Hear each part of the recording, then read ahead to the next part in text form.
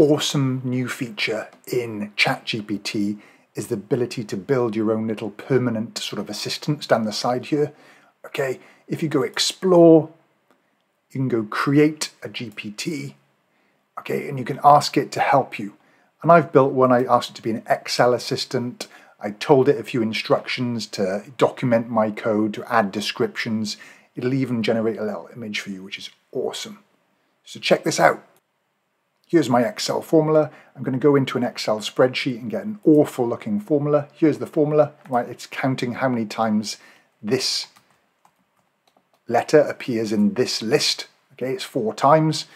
But I want to explain it. Maybe I've inherited this spreadsheet. It's an awful looking thing. So here I go. Put it into here, press enter, and off it goes.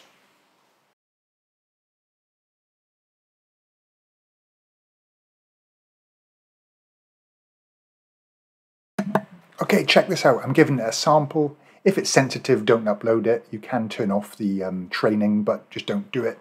So I'm giving it a little sample to help it simplify my formula for me. It's already helped me here, and it's going to simplify it. Check this out.